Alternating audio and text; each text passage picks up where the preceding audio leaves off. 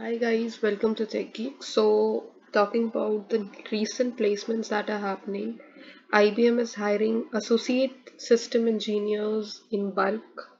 So, if you can go and check to the IBM careers page, you will find that in multiple cities, this associate system engineer jobs are there. And for ones who are freshers, this is a very good beginning for you if you begin with IBM you are surely going to succeed because the training, the atmosphere, and the organization is really, really very good. Now, talking about the ones who have already applied and how you need to prepare for the upcoming selection process or recruitment process. So, this video is for you. Before beginning, I'd like to say if you have any queries, just ping me through comment box if you need any help regarding any particular company or any particular you can say Java, mostly Java topics or excuse me, Java questions, do let me know. I'll be there to help you out as soon as possible. So let's see. For IBM, we have four rounds. Now, the very first round is a coding round. Second is a cognitive ability. Third is English. And fourth is technical interview plus HR interview.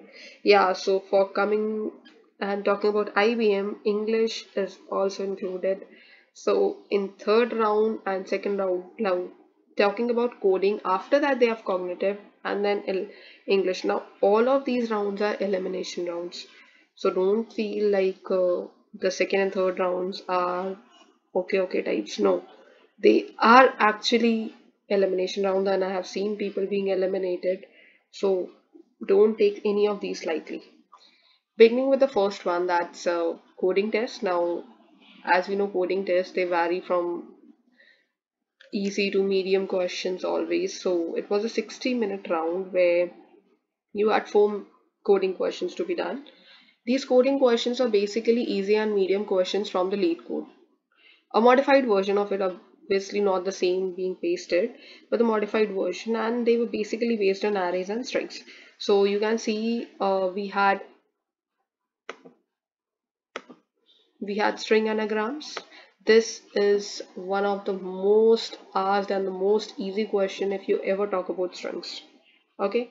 Then talking about checking grammar. So you were given basic rules uh, based on which you need to check whether the grammar is correct or not. Let's say the grammar specifies that uh, between two hash there cannot be uh, you have given a string and you have been told that between two hash okay there cannot be a dot okay? Or there can be only a single dot and not two dots okay? So if there are two dots you'll have to print invalid or incorrect grammar or in the either case you need to print it's a successful grammar. So this was checking grammar. So basically it was uh, the string manipulation part. Now forming a string using an array of strings. You have been given an array containing various words and you need to check whether that string is formed. Let's say uh, you have to check whether I love IBM is being formed or not using the words. Now you are giving the words like I love you IBM and some other words. You need to check whether combining these will form the string or not. So this was actually using if you're talking about Java so you can use substrings and all functions too. That would quite make it easy so this was it. Then longest palindrome. This could turn out to be tricky because it was not directly mentioned. The question was quite elaborated. So this took around 5 to 10 minutes to figure out whether what the question wants to know. So this was tricky.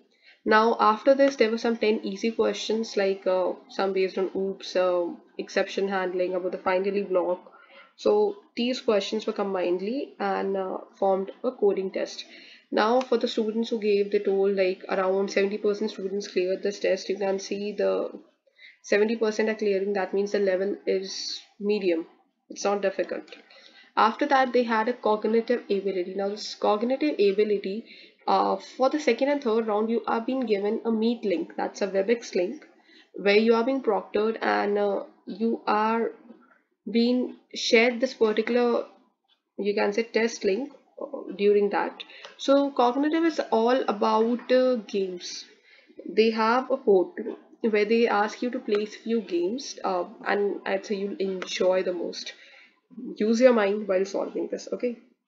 So there were number bubbles Tally Up shortcuts gridlock assemble and uh, that balloon picker too. So that was amazing this was an elimination round please be careful. And uh, it would take around 20 minutes uh, like max to max 20 minutes people did finish in 10 to 15 minutes too.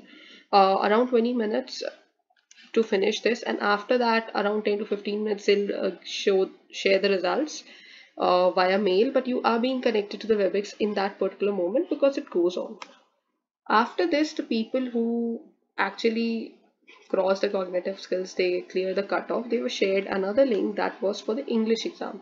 Now you were still in the webex meet but yeah you are being proctored or not it's uh, one and the same thing because uh, they were like hundreds of students together and many of them switched off their cameras too while solving this and this was an easy one like if you know basic english basic communication skills then you can go up with this english test and it was a short test 15 to 10 minutes and just like completion of the words inserting prepositions finding the error such kind of questions were there. But this was again an elimination round and yeah many students uh, did get rejected or eliminated just because of the overconfidence too. So thinking that english is uh, everyone's cup of tea so don't think that because sometimes just an easy thing can actually be a blunder okay now coming to the major round. After clearing all this round there comes the last and the most important round. That's a technical interview. So here technical as well as hr interview are combined. Now if you talk about technical and hr so basic questions will be there apart from technical questions too. So basic introduction it's always there. Talking about projects. Now projects any one project can be asked in detail. Maybe a major project they can ask you what project you are doing in the final year. And I would suggest you to go off with the most effective like for people who have AI and ML and any one project from this pick up this and they won't ask any other question if you can elaborate this. If you elaborate this in 10 to 15 minutes they won't even ask you a single question if they find that confidence in you. Okay? Then for people who had nothing to share like nothing not but uh, not much amount of things to share and tell them that yeah they're good at it so some db questions were asked the basic ones not normalizations and all just basic SQL queries. Then oops uh, polymorphism and inheritance like how you can tell them even encapsulation how can you relate with it? Then talking about super keyword yeah. This was asked to around three students which I came in contact with. Uh, what is the use of super keyword? So in case you have any queries regarding this do let me know. Now why are you willing to join IBM this is a good question. They ask you why are you willing to join IBM so the very first thing that you should have that it's a multinational company. You'll enhance your skills. You see yourself in a better position because of this company because of the skills you will gain here. Uh, or you can see you have senior seniors or your friends or your family members actually achieving goals with this company. So you can talk realistic things okay?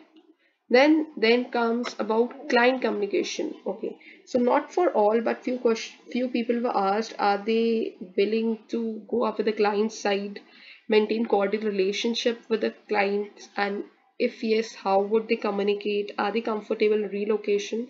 The various things they asked. Actually I wanted to know how comfortable you are while judging while contacting or managing a client that is what basically they want to know and yeah this was an interesting this basically ranges from you can say 30 minutes to 45 minutes. Not more than that. And yeah that's also webex one. And it was easy comparatively to other companies. This is an easy one. You can actually kick off this.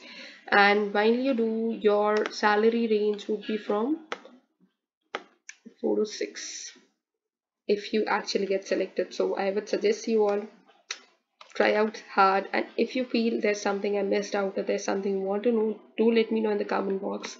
Thanks for watching. Like comment share and subscribe